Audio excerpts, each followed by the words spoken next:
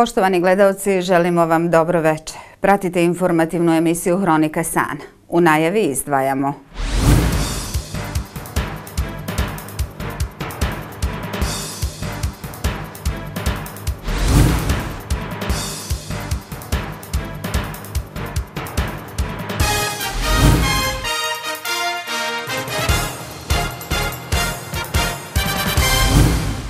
Epidemiološka situacija kada je u pitanju virus korona u Sanskom mostu može se ocijeniti stabilnom, obzirom da je ukupan broj zaraženih lica manji u odnosu na raniji period. Kako su nas informisali, iz općinske inspekcije evidentirano je pet novih slučajeva zaraze, tako da ukupan broj inficiranih lica iznosi 23.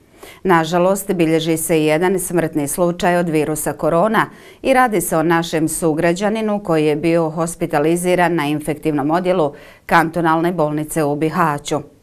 Na COVID odjelu opće bolnice u Sanskom mostu trenutno leži jedan pacijent. Iako je situacija nešto povoljnija i dalje se na građane apeluje da poštuju epidemiološke mjere i pridržavaju se ranije izdatih upustava u pogledu zaštite i samozaštite. Za naredni ponedeljak, 11. januar ove godine, najavljeno je održavanje konstituirajuće sjednice Općinskog vijeća Sanski most, na kojoj bi novoizabrani vijećnici trebali imenovati novo rukovodstvo ovog zakonodavnog organa za naredni četverogodišnji mandatni period. Na konstituirajućoj sjednici će biti predstavljen izvještaj sekretara općinskog vijeća o provedenim lokalnim izborima i konačnim izbornim rezultatima, nakon čega će novo izabrani vijećnici potpisati svečane izjave, čime stiču prava i dužnosti općinskih vijećnika. Također bit će izabran predsjedavajući i zamjenik predsjedavajućeg općinskog vijeća, a prethodno će se izvršiti izbor komisije za izbor i imenovanje i komisije za rukovodđenje tajnim glasanjem. Podsjećamo o prošle sedmice vječnicima koji su osvojili mandat na lokalnim izborima podijeljena su uvjerenja o preuzimanju mandata. U novom sazivu općinskog vijeća Sanski most koji ima 31 člana, najviše vijećnika imaće stranka demokratske akcije, odnosno 13 vijećnika. To su Mustafa Avdagić, Admir Velić, Mensur Seferović, Sadin Seferović, Sanel Mahić, Admir Kadirić, Raif Karajković, Abdul Vahid Cerić, Armin Islamović, Nedim Jakupović, Muharem Šupuk, Alma Tulek i Nada Elijaš. Socijaldemokratska partija imaće šest vječnika. Vječnici Socijaldemokratske partije u novom sazivu općinskog vijeća su Edvin Trožić, Sanda Čekić, Hajrudin Jakupović, Ajman Savanda, Amar Trožić i Nijaz Halilović. Nezavisni blok imaće četiri vječnika. Budući članovi općinskog vijeća ispred nezavisnog bloka su Dževida Hasić, Mujo Sinanović, Nirzad Karamujić i Mirso Kaltak – Stranka demokratske aktivnosti ASDA će participirati sa dva vječnika, baš kao i Narodi pravda, a vječnici ASDA u novom sazivu općinskog vijeća su Remzija Sadić i Sabahudin Karabegović, a Naroda i pravde Jasmin Mujačić i Jasmin Bornić. U novom sazivu općinskog vijeća Sanski most po jednog vječnika imaće i Demokratska fronta, Savez za bolju budućnost, naša stranka te Narodni pokret – Ferid Hođić jedini je vječnik Demokratske fronte u novom sazivu općinskog vijeća. Jedini vječnik Saveza za bolju budućnost je Selvir Korlat. Ispred naše stranke nova vječnica u općinskom vijeću je Nađe Nukić, a budući vječnik ispred narodnog pokreta je Amir Islamčević. U Starom Majdanu sutra će s početkom u 11 sati biti obilježena 28. godišnica pogibi Amira Žilića Zlatnog Ljiljana i heroja proteklog odbrambeno-oslobodilačkog rata. Tragična pogibija Amira Žilića, 24-godišnjeg oficira 17. Viteške krajiške brigade, dogodila se na ratištu kod Visokog prilikom slamanja neprijateljske ofanzive na ovaj grad, kojom prilikom su u ratnim dejstvima sudjelovali i pripadnici 17.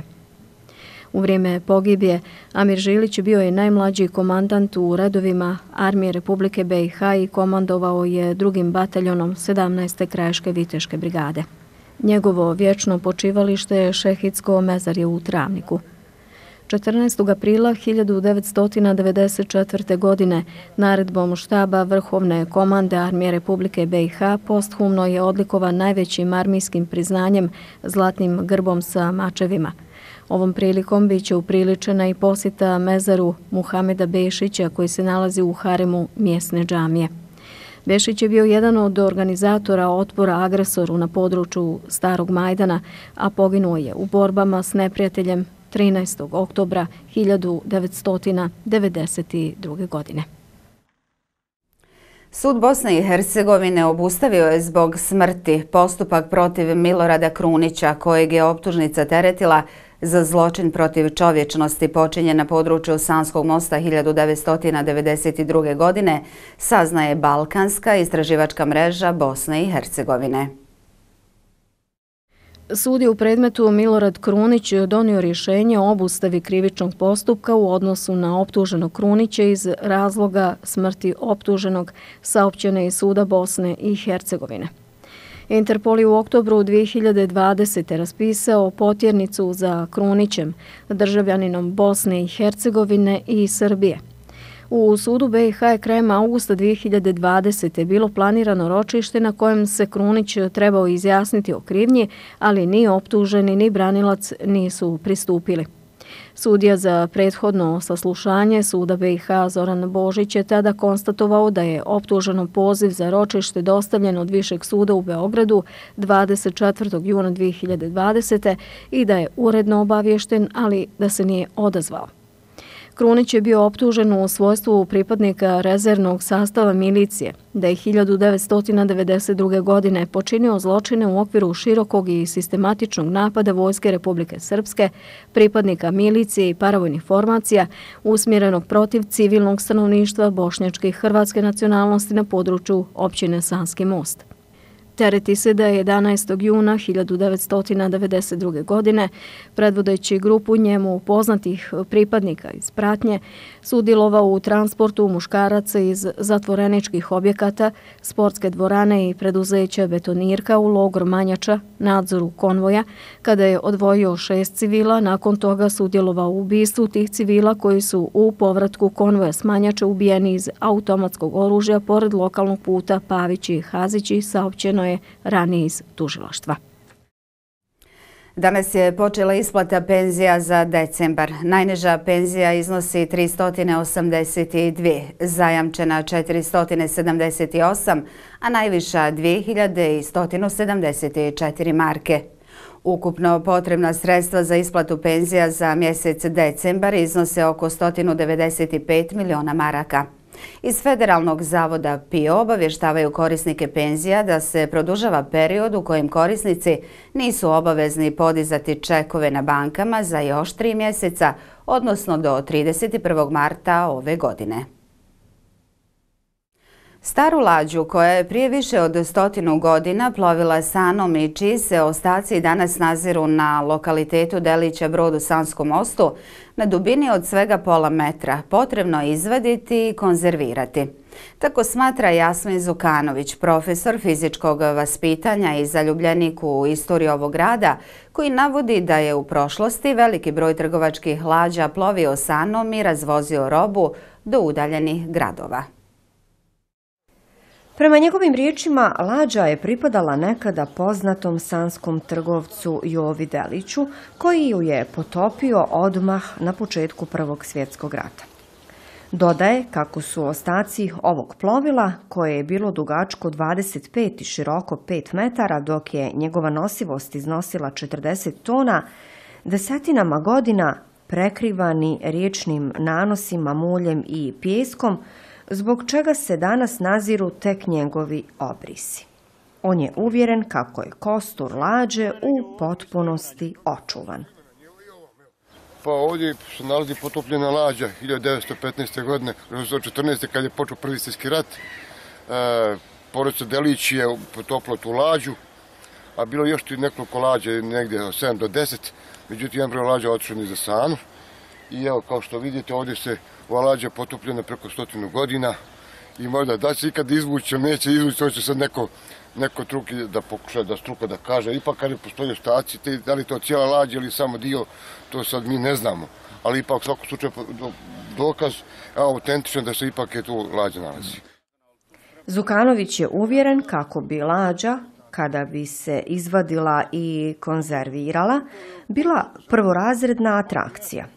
Sem toga, Sana više nije plovna rijeka, a prije stotinu godina njome su plovile velike transportne lađe. Prema njegovim riječima, postojalo je desetak takvih lađa i one su pripadale uglednim sanskim trgovcima i industrialcima.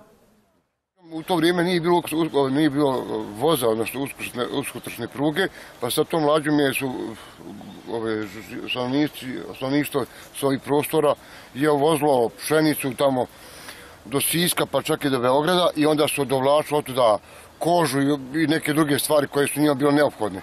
Tako da su u to vrijeme ovaj, su, strana je bila plovna i uvukli su ovaj, ljudi koji su vukli, znači kad je ono vrijeme u proljeće rano ili, ili u kasnu jesen, kad je Sana bila ipak malo e, sa većim vodostajem, i vukli su i tako da su koristili tu, kažem, kao prevozno sredstvo za transport robe i, i tako.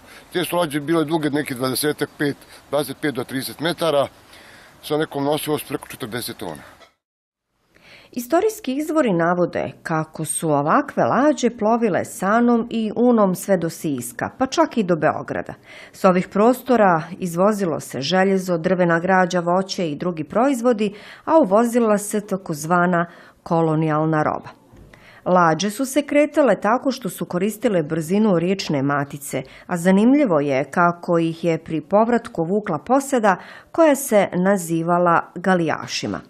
Prema pomenutim izvorima, putovanje iz Sanskog mosta do Siska u jednom i drugom pravcu trajalo je po mjesec dana. Razvojem željeznice u prvim decenijama 20. vijeka lađe su se vremenom potpuno izgubile.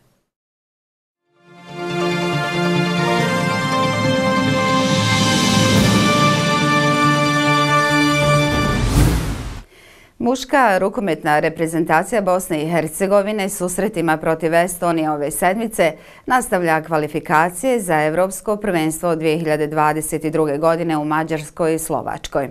Tako će izabranici selektora Bilala Šumana 6. januara gostovati u Estoniji, dok će četiri dana kasnije BH reprezentativci Estonce ugostiti u Bugojnu. U taboru BH reprezentacije vlada optimizam, a selektori i igrači se nadaju u pobjedama koje bi naše ekipi tresirale put ka plasmanu na Evropsko prvenstvo. Selekciju ovaj, Estonije dobro nam je poznata, igrali smo u prethodnim kvalifikacijama ili dva, dva ciklusa unazad s njima. Znamo da imaju ozbiljne dva igrača, Janimu i Patrajla, koji ovaj, iznenađujuće na prošlim, prošlim utakmicama sa Austrijom ovaj, nisu bili. Mi smo favoriti sigurno tu i mislim da ako ne možemo dobiti Estoniju dva puta, ovaj, ne trebamo ni gledati neke šanse da idemo na Evropsko prvenstvo. Nadam se da ćemo utakmicu dočekati svi zdravi da neće biti neki komplikacija što se tiče ovog virusa, jer doći do Estonije je malo sad komplikovano u ovom e, vremenu. Ovaj, glede kvalitete mislim da je na našoj strani, generalno e, mislim da smo bolji od Estonije, ali opet nekada smo imali problema pokazati to na terenu. Nadam se da ćemo ovaj put pristupiti ozbiljno i kažem, e, ako Bog da budemo svi zdravi i da uzmemo ta jako bitna četiri boda, jel? Koja će nam biti neki, neki temelj za, za kasnije u martu i u aprilu utakmice ostale i pokušati sa Austrijom riješiti taj šampionat.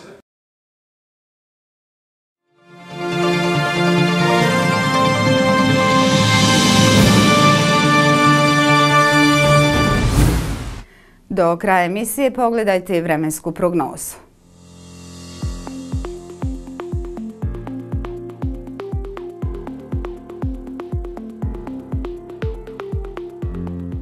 Danas je u Sanskom mostu preovladavalo umjereno pretežno oblačno vrijeme. U večernim satima moguće padavine. Vjetar slab, istočni i jugoistočni. Jutarnja temperatura zraka iznosila 1, najviša dnevna, 7 stepeni Celsijusa.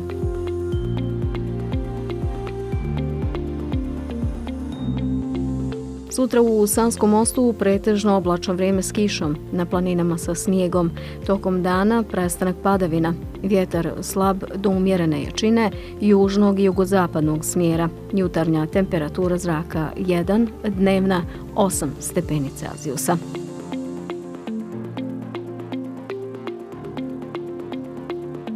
Premještanje frontalnog poremeća preko Bosne će uzrokovati nepovoljne biometeorološke prilike. Meteoropati se mogu žaliti na umor, manjak energije, pojačane bolove na mjestima ranih ozljeda i glavobolju. Tegobe od kojih inače pate hronični bolesnici bit će pojačane. U područjima s jutarnjom i večernjom maglom upozoravamo na zaštitu posebno plućne bolesnike. U dijelovima dana sa sunčanim razdobljima podnošenje tegoba može biti olakšano. Poštovani gledalci, bilo ovo sve u večerašnjoj emisiji Hronika San. Hvala za pažnju i do gledanja.